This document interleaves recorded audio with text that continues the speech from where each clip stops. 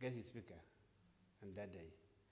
Uh, South Sudanese young boy, uh, a leader, new leader, is a secretary here. Now he's a leader of the South Sudanese in Queensland. Uh, it's, it's a guest speaker also too. He's a new one. Uh, uh, and St. David here, uh, Reverend is a big guest speaker here on that day. Uh, No, no, no, no, no, no. I'm, I'm, I'm doing the children's ministry on the day. That's, Okay. that's where I'm speaking. All right. Lie about your age, come in there, it's Uh, fun. David is here, and David, they have a big job, big role on that day. Uh, it's opportunity to look at young people, and also they welcome all the people. They come somewhere, and has the leader of South Moreton Presbytery. Uh, and some guests I would write a name today. When we are finished here, we'll sit down with the secretary, as the chairman also of the South Sudanese. We are sit together and put in whole thing. I sent to share congregation here in St. David to share with you and later. This is what we are doing on Saturday, coming Saturday. Thank you. Uh, we need money, we need attendance. Because we need attendance and we need money. Yep. Okay. Th- Thank you. Just to sum up, that's this Saturday. You are invited between 2 and 4. Come, there will be worship in this place, there will be dancing. And there will be a good sized group of us that will be working with their children in the garden room on the day as well. So please come. So that's this week. The following Sunday, we're still in the announcements. Um, our worship will feature the work of Frontier Services and their ministry with Aussie people living in the outback. So there will be a morning tea following that service. I thought I saw Robin. Do you want to add anything to that?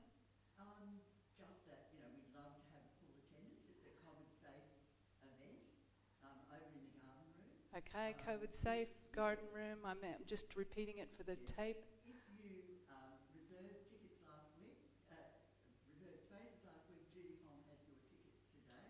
Beautiful. Pay her.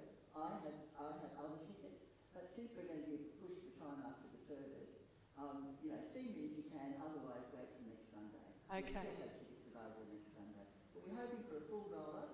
Next Sunday we'll have all our silent auction items available for perusal after the service.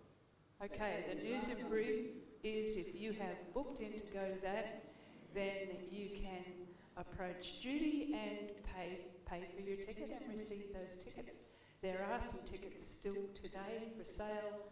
Uh, it's going to be a good time. There will be some silent auction things that will be available for you to look at.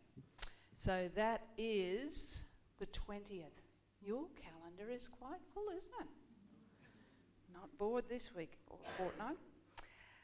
So let's take a moment now and give thanks to God for His goodness in our lives as we bring forward our tithes and offerings. We're going to stand for the offering. We're going to stay standing because we're going to do a couple of other things, including pass the peace and singing a hymn. So unless you like to do a lot of that, you can stay. Yes, let's stand for the offering. Lord God, you are good. And we ask this morning that you will use these gifts of tithes and offerings and each giver to the extension of your kingdom here and beyond this place. Bless them and us in your name. Amen. The peace of the Lord be with you. Just where you are, if you can pass that peace, give someone far away a good wave. Peace be with you.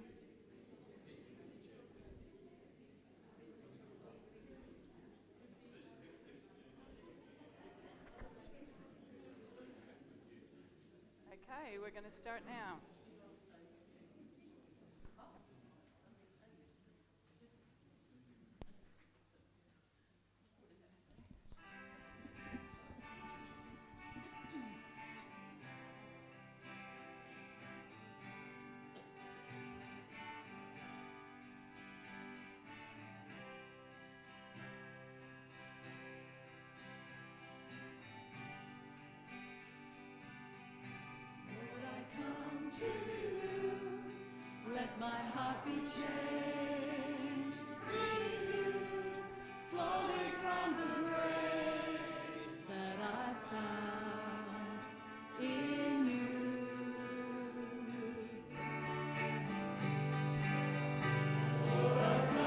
Tartan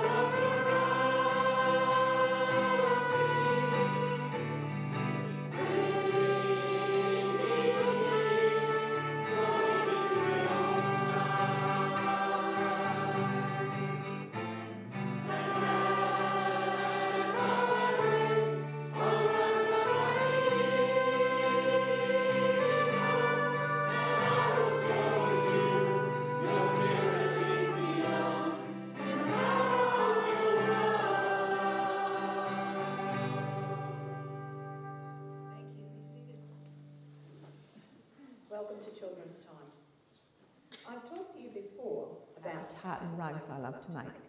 But we haven't really talked about what they mean or where they come from. This tartan is my family tartan. I'm from the McNeil of Colonsay clan. When I first started to get interested in making the rugs, I found a pattern book. And I found the McNeil tartan in there, and so that's the one I made. Only to discover sometime later that there are actually two McNeil clans, and the one I had made was the wrong clan. But of course, I've kept them both. When I think of tartans, I think of Scotland. But I've read today that having a particular tartan for each clan or family is a fairly modern thing, starting in about the 1800s. They wore tartan before then, but not necessarily clan colours. There were lots of different colours and different designs. But I like the idea of being part of a clan, such a large family, and if we all wore our tartan colours, we would be able to identify other members of our family easily. Families come in all different shapes and sizes. Not all of them include a mother, father, brothers and sisters, but families can be people who love and care for each other. In our reading from Mark today, we'll hear there was a crowd sitting around Jesus, and someone said, Your mother and your brothers are outside asking for you. Jesus replied, Who is my mother? Who are my brothers? Then he looked at those around him and said, Look, these are my mother, my brothers. Anyone who does God's will is my brother and sister and mother. Will people be able to identify us as part of Jesus' family? Are we living in a way that shows we are? Are we doing what God wants us to do? What a wonderful family to belong to. God bless you all.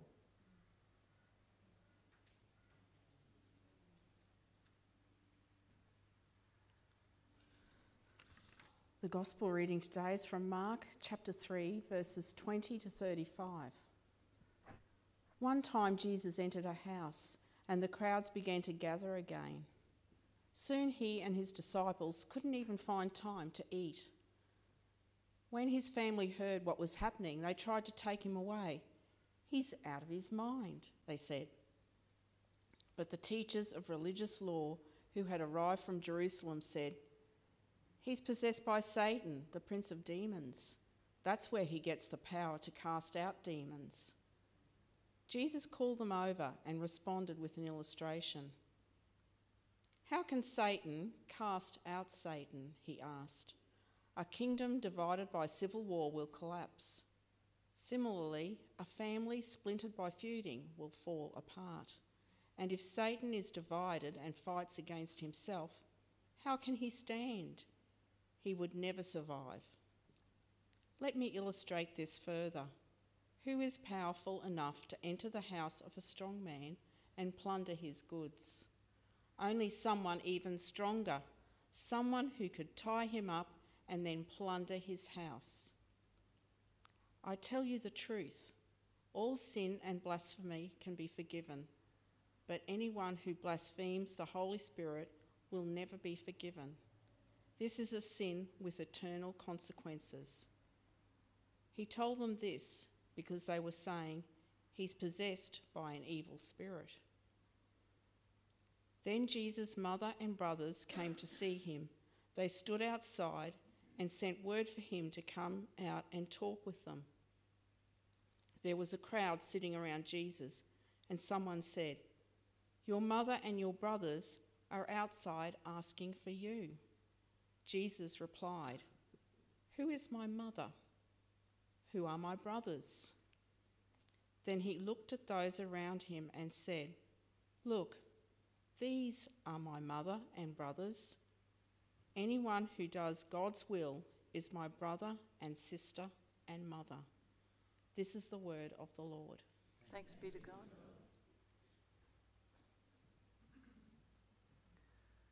Jesus was in Nazareth. He had returned to the place he'd called home. And from the description in the passage, his reputation earned in other places had preceded him. They, he had mesmerized every crowd he'd come in contact with. Why?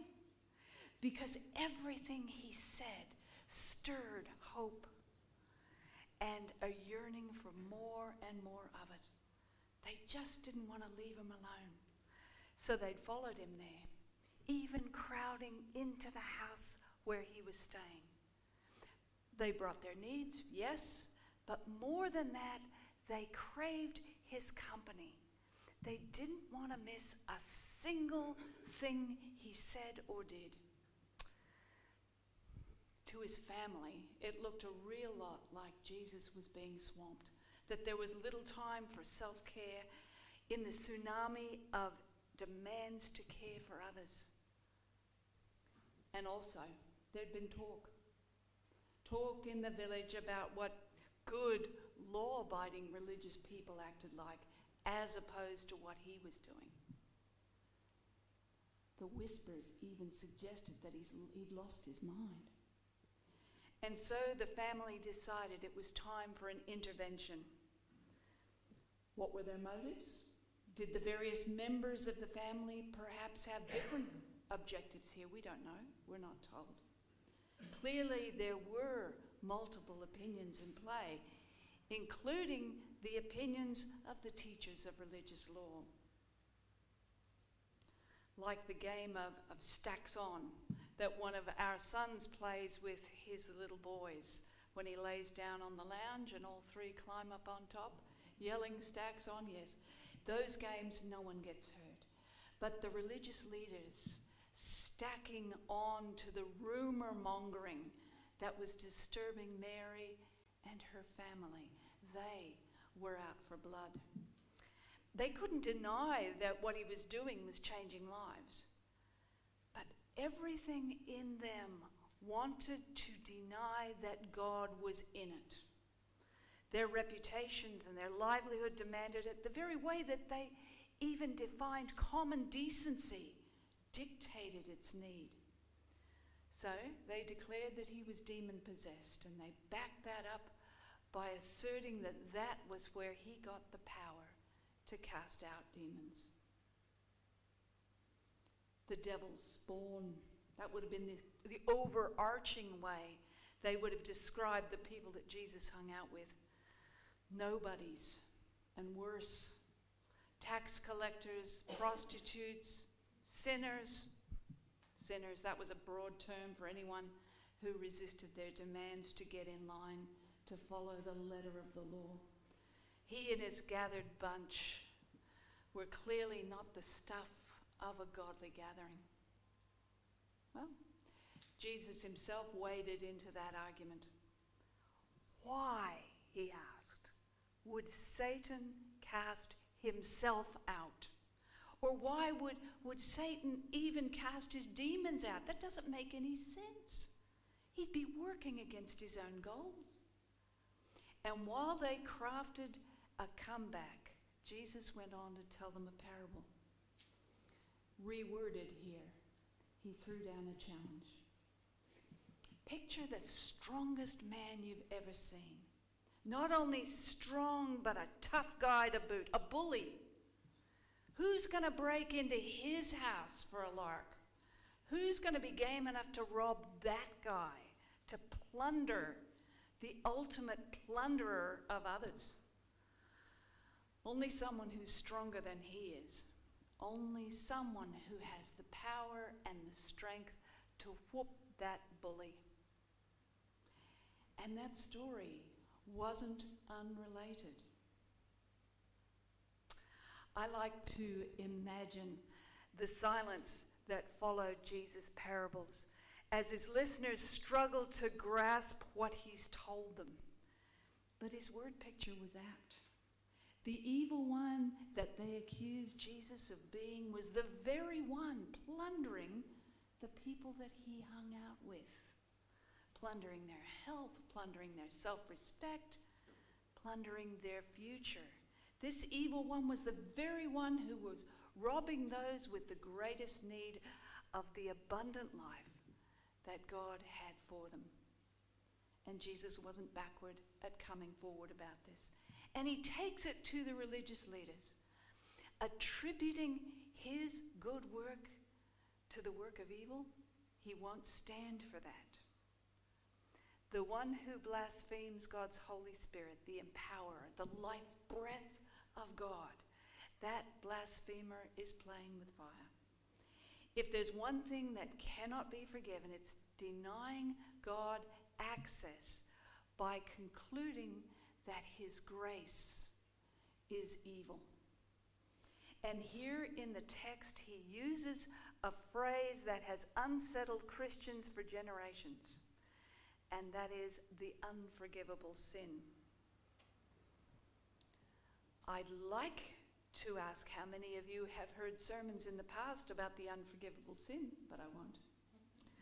Over generations, it has been a favorite idea for fire and brimstone preachers.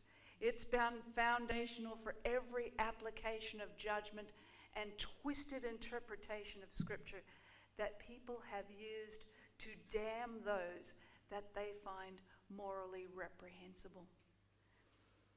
I did a, a Google search this week for sins that current preachers say are unforgivable.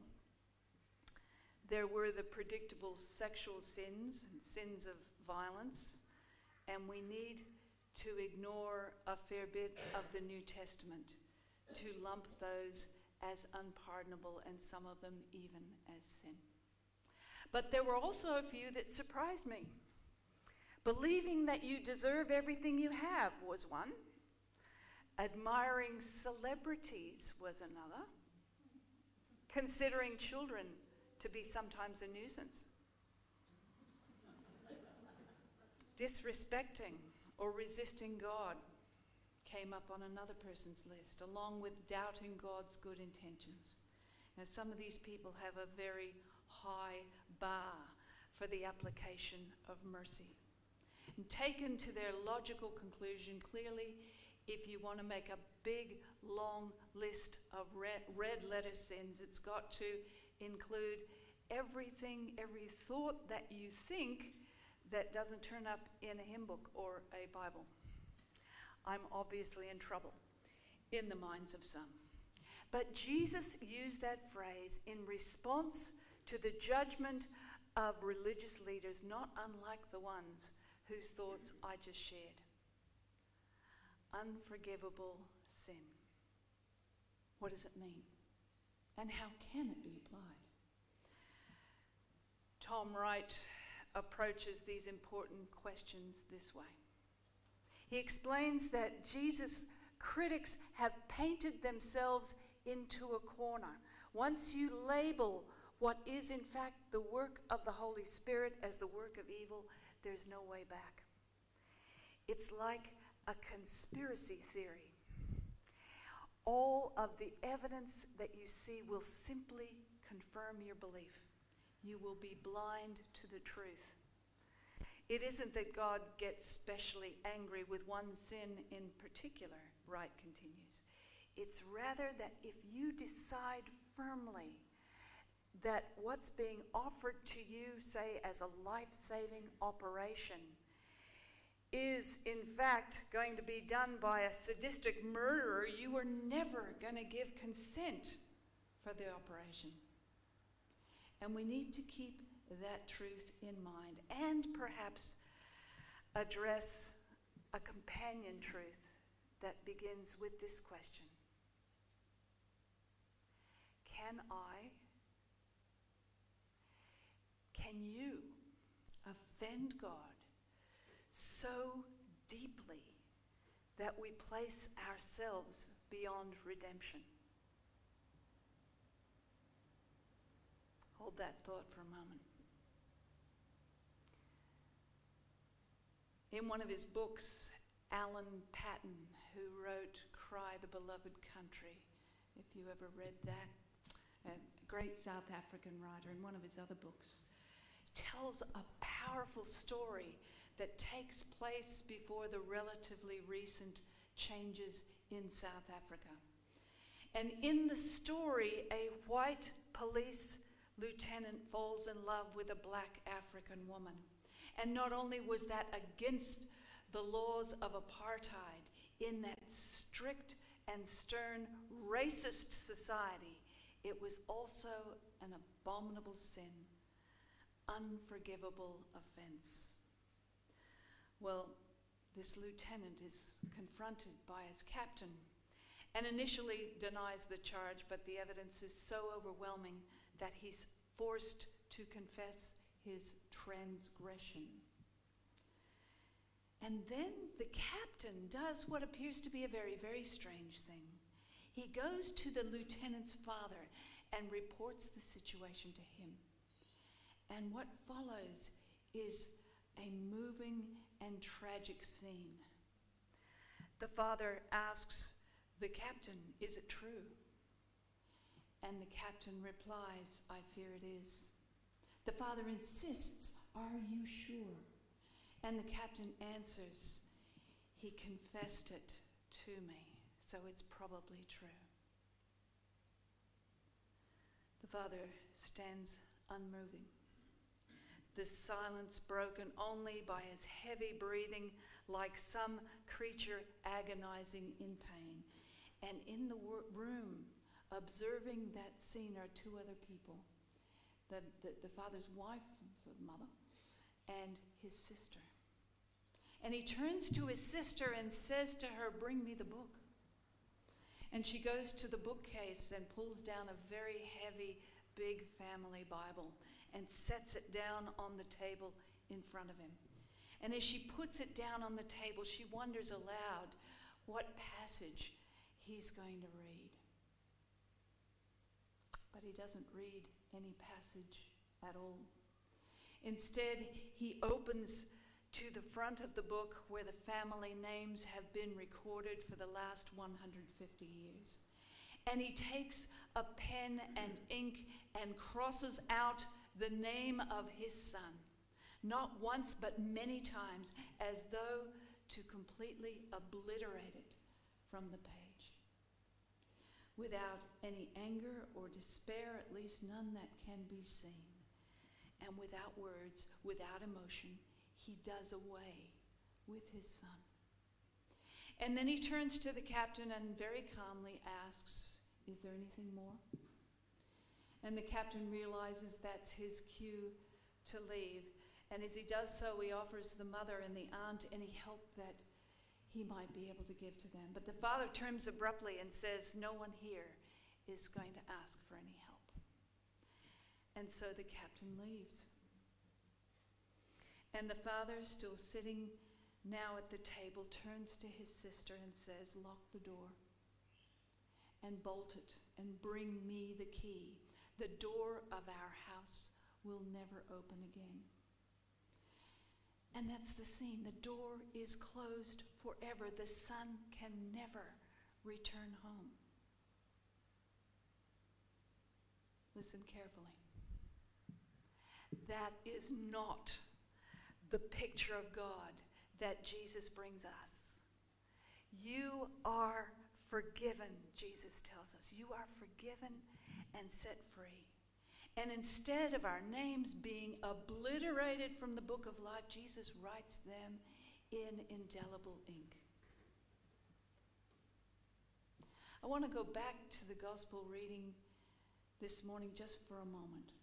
And I want you to reimagine the scene here.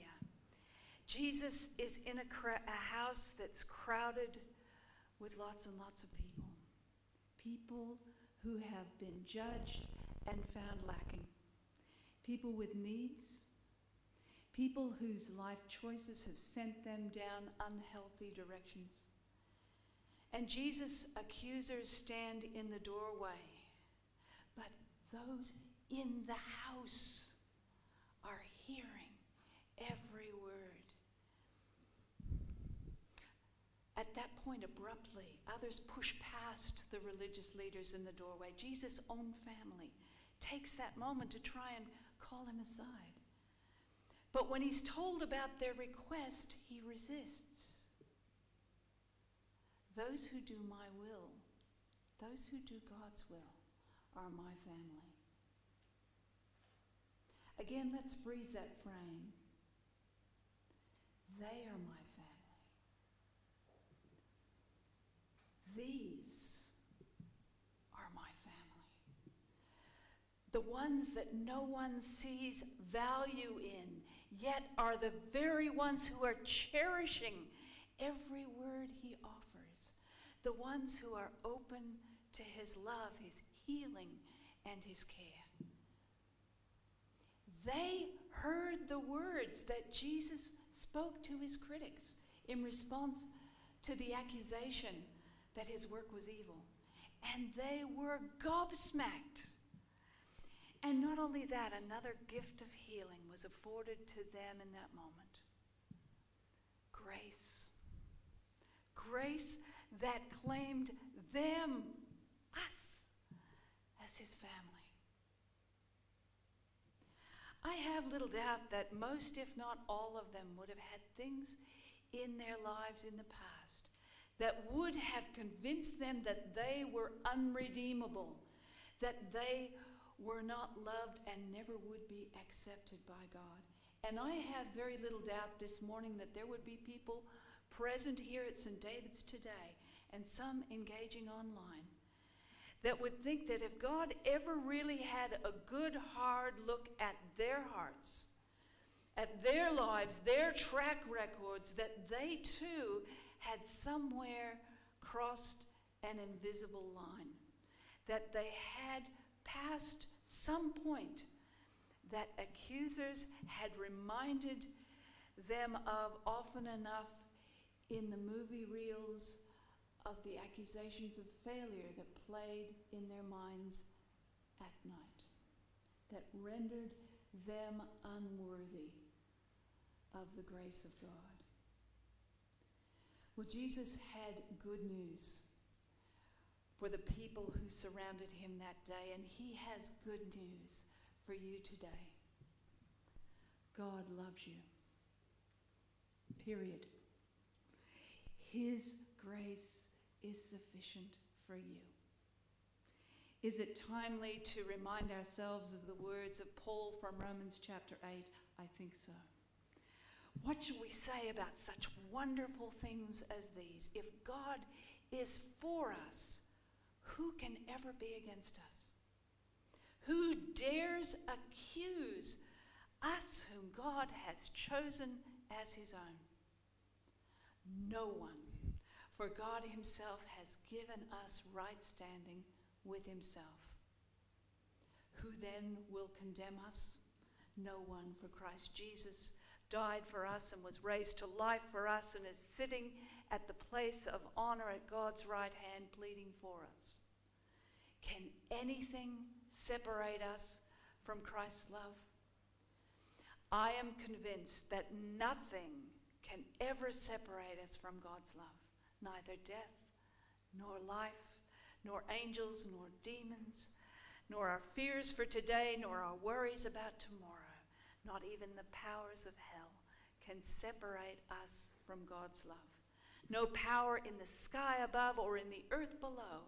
Indeed, nothing in all of creation will ever be able to separate us from the love of God that is revealed in Christ Jesus our Lord. Friends, this is good news. Amen. We're going to sing Amazing Grace.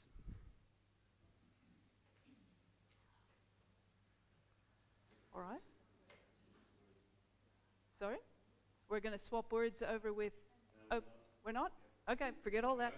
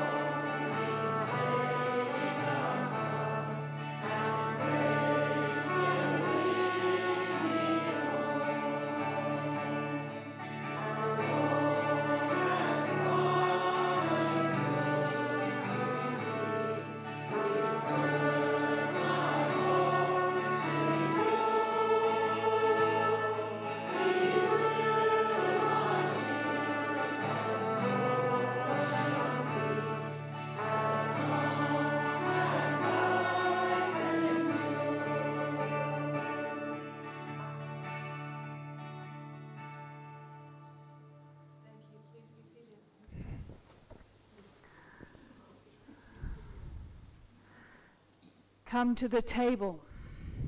We'll have microphone on in a moment. Still speaking. Can you hear me? A little bit. Maybe need a little bit more. We're on now? No, we're not on now. Peter's going to come and operate on my. Thank you, Peter.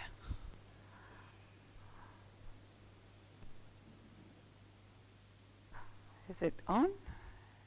Perhaps not. Have we got some new batteries? Batteries are good. The little lights on. It's looking very positive.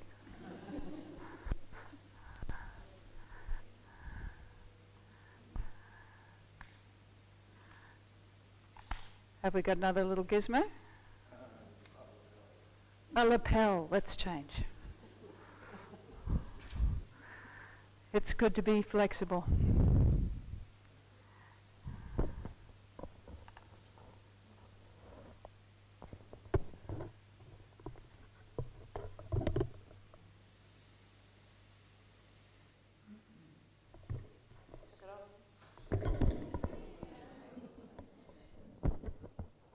Sounds good. Okay, we're on.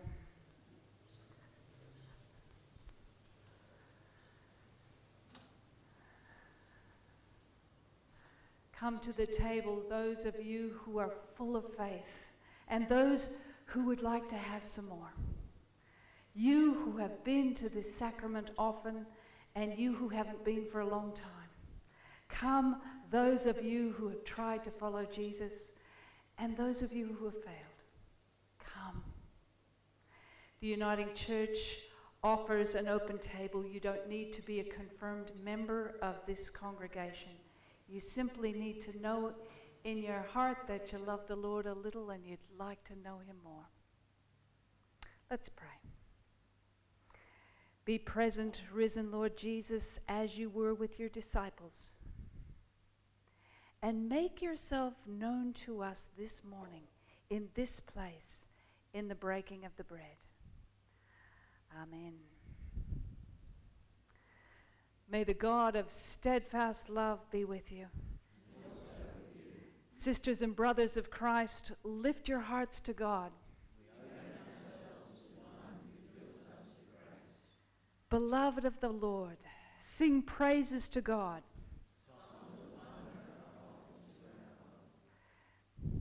Catching a glimpse of goodness and beauty, Lord, you shattered the silence of chaos as you spoke creation's language with your voice of power and patience. Your word sang in the morning, sending lambs skipping across paddocks lush with life. Brumbies pranced with wonder. Sorry, brumbies pranced through valleys overflowing with wonder. Your spirit breathed life into those shaped in your image, filling our souls with joy and grace. When we wandered from you, you remembered the soft touch of our hands in yours, and you sent the prophets to call us home. When we got in over our heads in debt to sin and death, Jesus came to redeem our lives. Therefore, we lift our voices with those who worship you in every time and place, singing your glory forever and ever. Holy, holy, holy, God of glory and grace. All creation praises you with words of hope. Hosanna in the highest. Blessed is the one who comes to strengthen our souls. Hosanna in the highest. You are holy, God of life, and blessed is Jesus Christ, Word of creation. Filled with your glory, he emptied himself to become one of us. Knowing the heartache of loneliness, he became family, friend to all. Walking the streets beside us, he became the guide we need. Recognizing the power of sin and death, he followed them to Calvary, leaving them behind in the empty grave as he was raised to new life. As we remember his willingness to give up glory, we remind ourselves of how this holy meal began. As we gather at this table, we remember the night when Jesus washed his disciples' feet and sat down at a table to share a meal with them. And on that night, on the night of his betrayal, he took a loaf of bread, and when he had given thanks, he broke it and said, This is my body given for you. Do this in remembrance of me. And in the same way, also, he took the cup after supper, saying, This is my blood of the new covenant, poured out for you and for everyone. Do this as often as you drink it in remembrance of me. For as often as you eat this bread and drink of this cup, you proclaim the Lord's death until he comes. Pour out your Holy Spirit on us, O God, and upon these gifts of bread and wine, that they may be for us the body and blood of your precious Son, Jesus Christ. Let's pray now the prayer Jesus taught his disciples. Our Father in heaven, hallowed be your name. Your kingdom come, your will be done on earth as it is in heaven. Give us today our daily bread. Forgive us our sins as we forgive those who sin against us. Deliver us in the time of trial. Deliver us from evil. For the kingdom is your power and glory are yours, now and forever. The body of our Lord Jesus Christ was broken for us.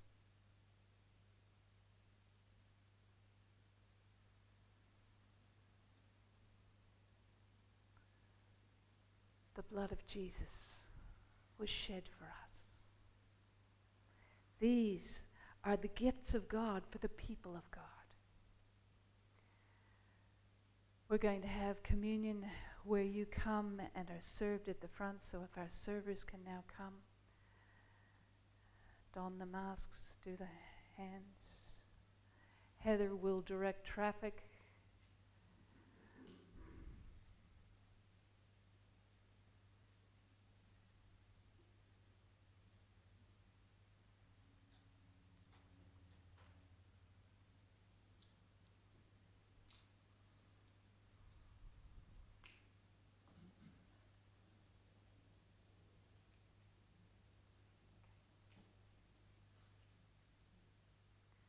There is gluten free as well, and I'll be serving that here.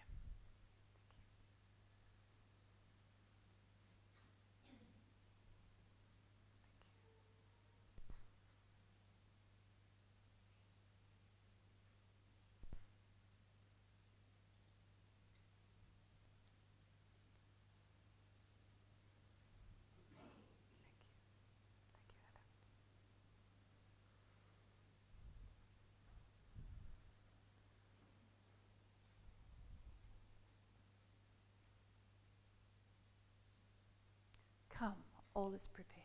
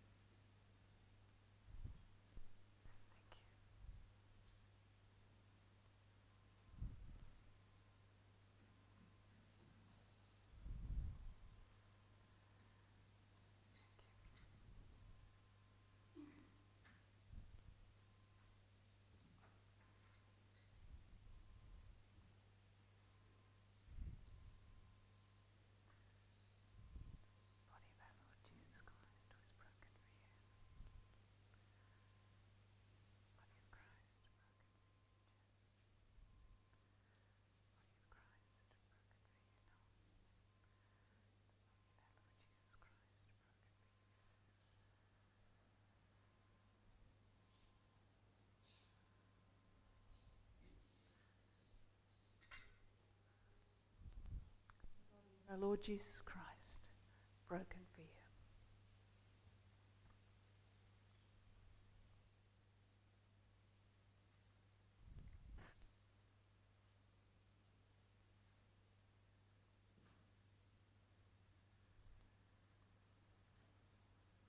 Christ shed his blood for you.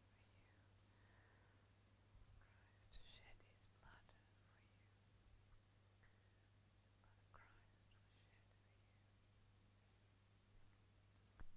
for you. Blood of our Lord Jesus Christ was shed for you.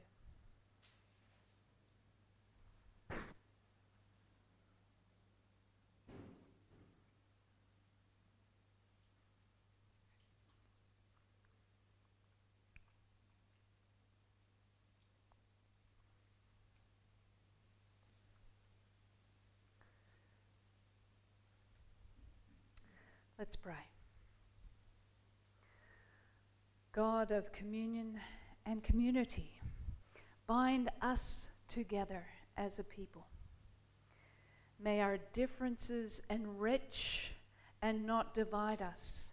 May we share our brokenness with patience, grace, and forgiveness, that we may be a community that brings healing and wholeness. May we live your story in the world. This we ask in Jesus' name.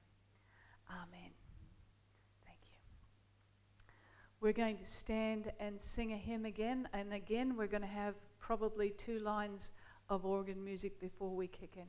So let's stand. Oh, for a thousand tongues to sing.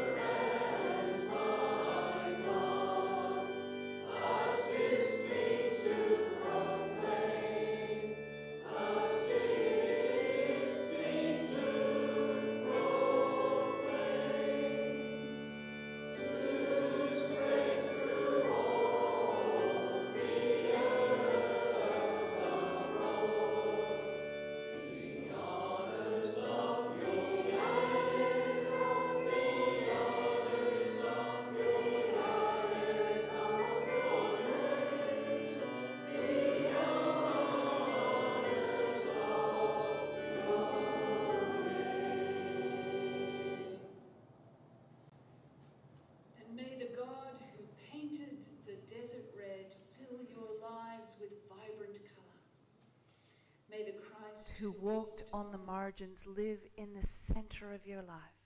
And may the Spirit who hovered over the waters refresh you each day. And may the blessing of Father, Son, and Holy Spirit rest upon you and abide with you now and evermore.